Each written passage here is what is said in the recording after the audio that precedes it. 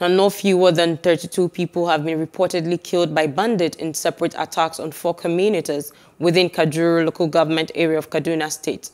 The affected communities are Ungwan Gamu, Dogon Noma, Ungwan Sarki, and Maikuri. The police are yet to confirm the incident, but the district head of Kufana, Titus Dauda, said that the attacks occurred on Sunday and that 32 people lost their lives while a church and several houses were destroyed in the process.